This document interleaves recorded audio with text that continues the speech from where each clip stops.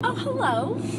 We are currently on the 101, which is California Drive. And we're headed to Los Angeles, Woo. Hollywood, California. We're gonna go to Mann's Chinese Theater. Is it still Chinese? I don't I don't Yeah. know about that. Okay.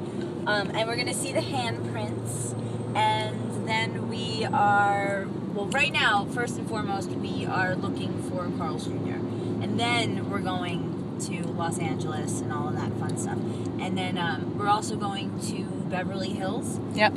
to Driving Rodeo through. Drive because my grandma Sue says, Cristina, you have to go to Beverly Hills and you don't have to buy anything, but you just walk up and down the streets and see the shops, and then they're gonna invite you in and you sit on their beautiful couches and then they give you champagne. Your grandmother sounds amazing. She is in 1982. So I doubt that that'll happen. They'll call the cops on us before that happens. But we are going to go see the beauty that is Beverly Hills. And then maybe we'll like run into a Kardashian or something. I don't know. Do you see my cleavage? We No, not this time. because um, you, You had my, boob. You could see my areola. It was like You could not. Yes, you could. It was bountiful.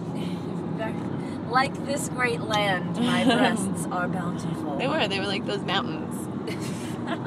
Sure.